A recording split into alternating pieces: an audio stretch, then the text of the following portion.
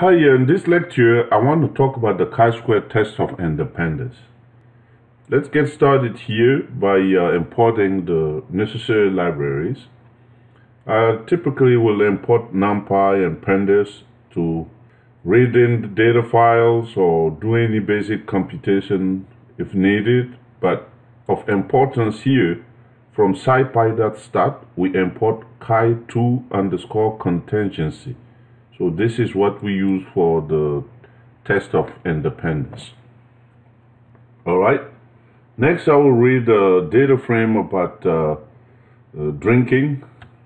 All right, let's take a look at that data.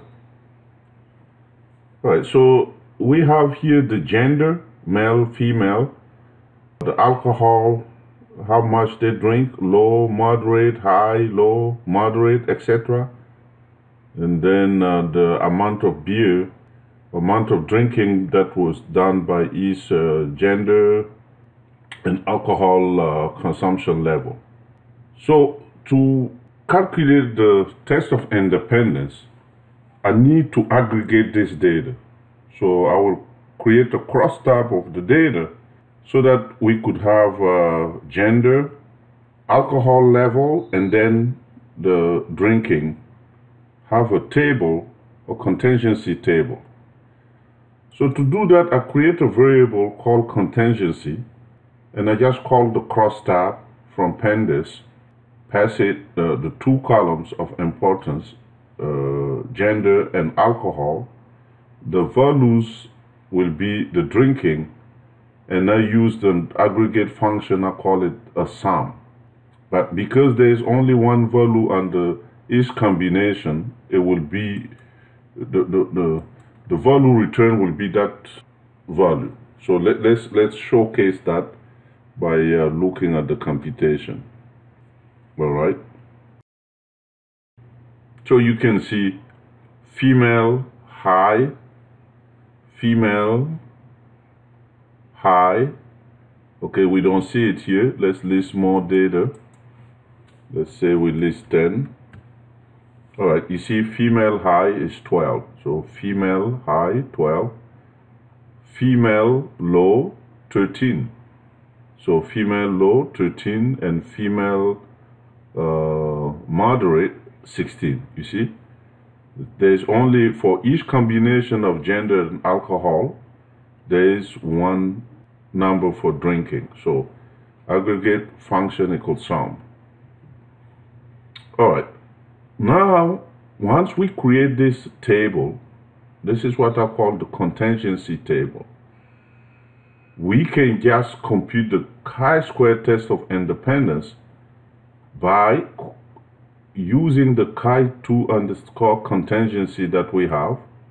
So chi2 underscore contingency and pass it the table. All right. It will return four different statistics. The first one is the chi-square value.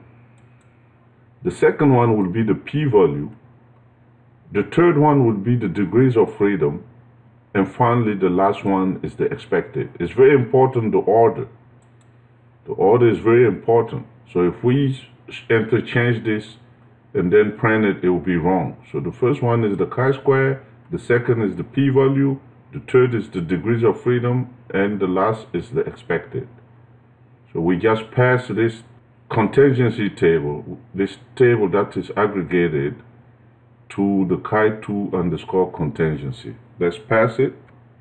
And now let's print it. So you can see computed chi-square statistic is 0.28. So computed uh, p-value is 0.87 if we round it. And then here it's giving the expected cell count all right for each of the combination. So the first row these are the expected cell count. And for the second row these are the expected uh, cell count. You can see by even looking at the expected cell count that they are very close to the data. So there's there won't be uh, significant differences.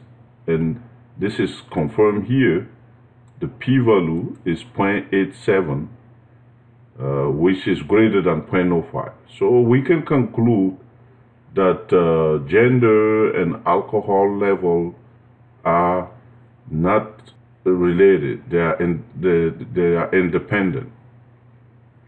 All right. So this is how we carry out uh, the chi-square test of independence. Thank you.